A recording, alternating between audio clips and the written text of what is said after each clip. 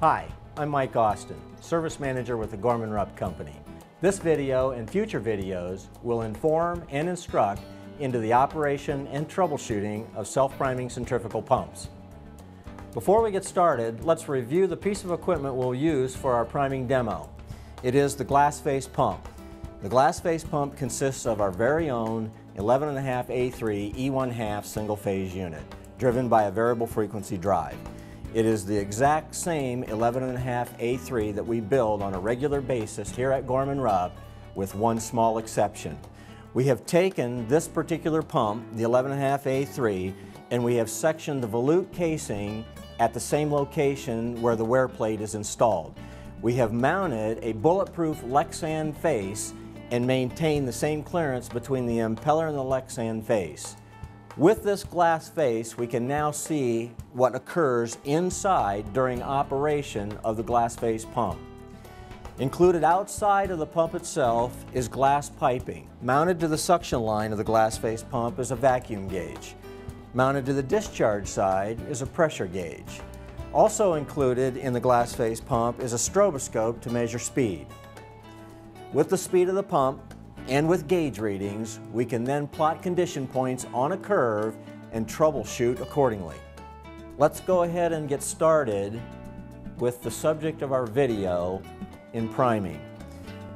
We'll open both air valves inducing air back into the system, allowing the liquid to fall back to the amount of water that we normally place inside the pump for priming. For those of us that are familiar with self-priming centrifugal pumps, we know that we must first fill the volute with water. We can now start the pump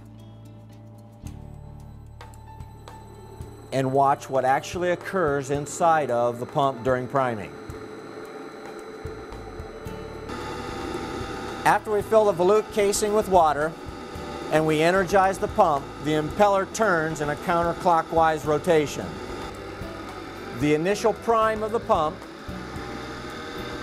is slung through the volute scroll or the ever-increasing water channel into a pressure cavity or a discharge chamber inside the volute. Inside this discharge chamber, the air and water separate. The heavy water falls back down through a recirculation port and the air then is evacuated through an open-ended line or through an air release device.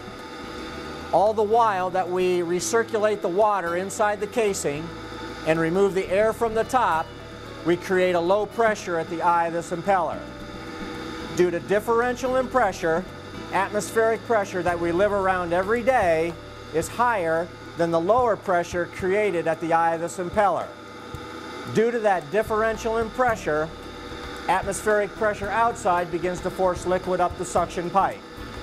As liquid moves up the suction pipe, it pushes all the air ahead of it into the volute casing where it is handled through the recirculation process. Again, the air is handled off the top and the heavy water recirculates back down into the volute scroll area.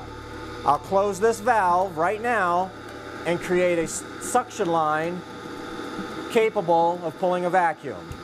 Ahead of it moves the air, pushes it into, handles it through the recirculation process, and once the water arrives, the pump then goes to complete operation. For more information on pump hydraulics, equipment, or application engineering, watch Gorman Rupp's YouTube channel and visit us at grpumps.com.